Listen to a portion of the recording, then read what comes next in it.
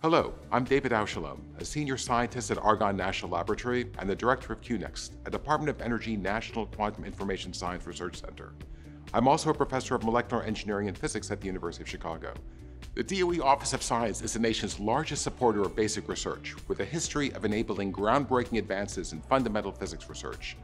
Today, the Office of Science continues to provide essential support for a broad portfolio of quantum research efforts, from the single investigator working on a focused project to large integrated centers that bring together hundreds of scientists and engineers across the nation.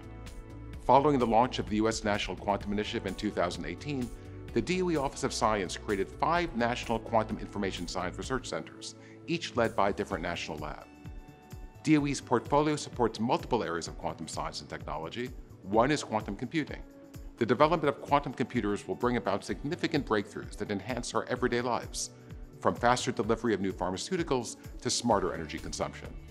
Another is quantum communication, leading to unhackable information networks that cross the country and the globe, strengthening national security. Also, new ultra-sensitive quantum instruments will enable us to make measurements with unprecedented precision at the level of a single cell or a single particle of light and will have significant impacts in health and space exploration technologies. And we're creating groundbreaking quantum materials with national foundries to develop these next generation technologies for industry and government researchers. This pioneering science has the potential to bring about a quantum revolution comparable to the information revolution of the last century. The scientific facilities at the national labs are world-leading national resources used by tens of thousands of researchers each year, including quantum scientists. They bring together high-performance supercomputers and powerful light sources for studying processes at nature's smallest scales. In addition, the Office of Science develops quantum computing and internet testbeds, allowing scientists to explore practical applications.